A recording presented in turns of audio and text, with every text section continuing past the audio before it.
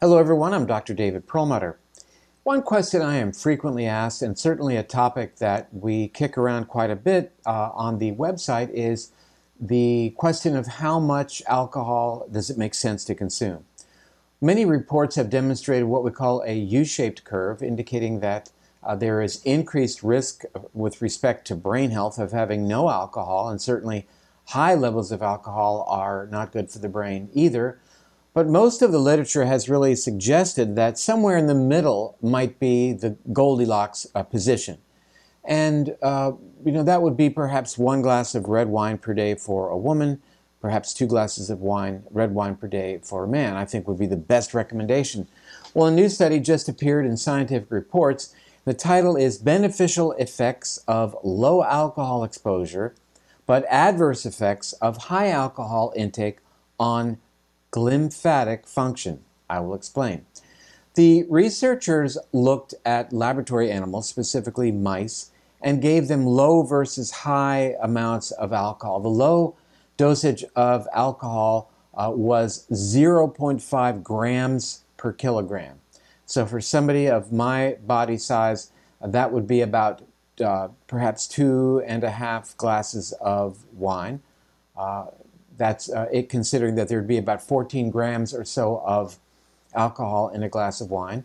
The higher dose that they looked at was 1.5 uh, grams of alcohol per kilogram body weight. I don't mean to be too technical, but that would be you know about seven uh, about seven to seven and a half glasses of wine. We would consider that high, and uh, this is what the researchers called uh, what you might get if you're involved in binge drinking. And they measured, as uh, we described in the title, the, uh, the effect on the glymphatic system.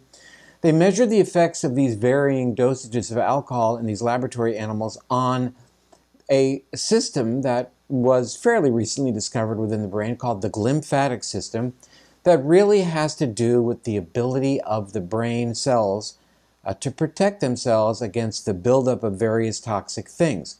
So the glymphatic system is a system that is active more so during sleep, uh, and it is a system that is involved in how the brain purges itself or cleans house.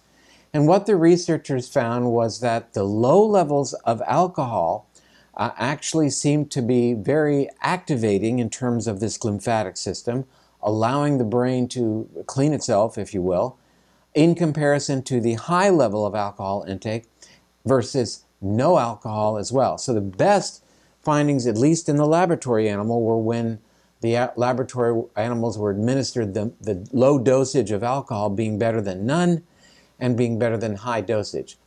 Now, um, you know, there are all a lot of things you could say about extrapolating animal data to the human, and I understand that. But I think it does add to our narrative in terms of the sweet spot, i.e., uh, that uh, there is a, a spot in the middle somewhere as it relates to exercise, as it relates to uh, things like sleep, uh, that are best for our health.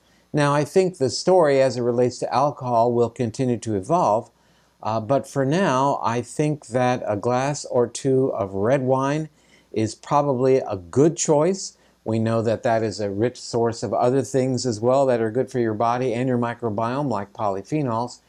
And from the results of this study that recently appeared, as, as I described, it looks like that is the best dosage in terms of activating the glymphatic system, allowing your nervous system to clean itself.